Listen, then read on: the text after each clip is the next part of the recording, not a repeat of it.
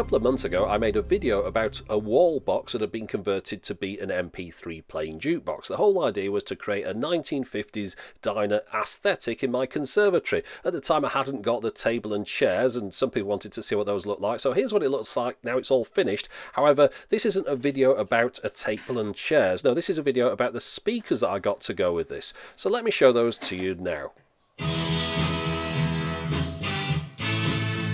Now, when I first started looking for speakers, I thought maybe I'd get something to go with the period, perhaps some repurposed drive-in movie speakers.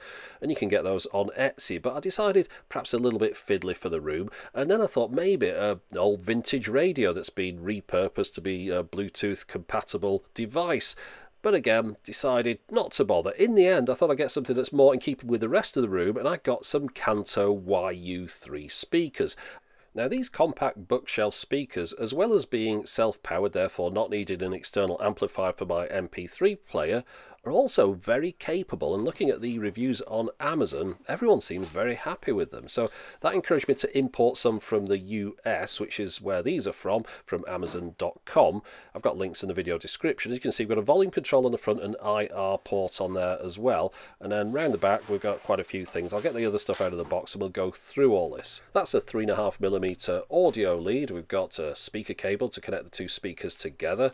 Remote control and because I've imported this from the US the power lead is one that's designed to plug into US sockets. However not a problem at all because it's just a standard figure of 8 lead.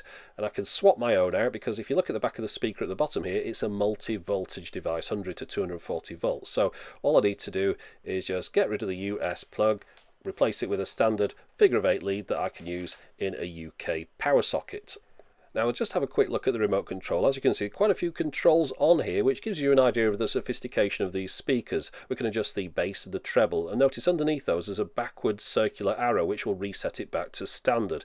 And we can adjust the balance and play pause, skip tracks when we're using on Bluetooth. And talking of which, if we look at the inputs at the top, there's quite a lot there. You've got RCA, auxiliary, optical 1 and 2 and Bluetooth. So there's five different inputs that you can put into the back of these speakers. You can see them here on the left. We've got the RCA left and right stereo plugs. We've got the auxiliary lead the 3.5mm jack below that.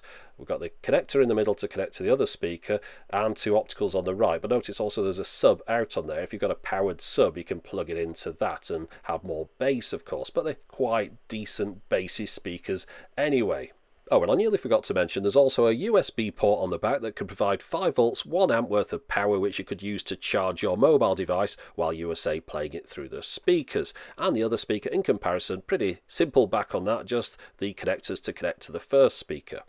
Now let's just take the plastic off the remote control as well because that's supposed to be a glossy remote control as you can see there and also put the batteries in it which are provided inside the box. Now for demonstration purposes I'm going to connect the two speakers together using the supplied speaker cable using these binding posts you can just connect that through the little pins on there and tighten them up but those also accept banana plugs and that's what I've actually used in my real setup and I've got the speakers quite a bit further apart because it's only a 10 foot lead. I've plugged my auxiliary input into there which is coming from my MP3 player so let's just have a quick listen. Now to avoid falling foul of copyright, I can't really play you anything back of course, but these are Kevlar drivers and we've got Silk Dome tweeters at the top. The whole thing sounds great, it's just, you'll never really hear it properly over YouTube anyway because it's going to be compressed down. Now the speakers themselves, as you can see, really nicely constructed, all one piece, you can't see any joins on these at all. Uh, at the bottom there you can actually put some feet on it if you don't want it to scratch your furniture or scratch the bottom of the speaker either way. So I put some of those on there that were out of the packet. Also stops it sliding around a little bit I suppose. Now just inside the instructions here we'll just have a quick look. Those are the things that we got inside the box which we've already seen. And I'll just flip through and we'll just look at these specs at the back of here because some people will be interested in these. So pause it now if you want to know all about the frequency response and all that kind of stuff weights and sizes all on screen now. In real terms, those dimensions mean that the speakers are slightly taller than a DVD, but about the same depth.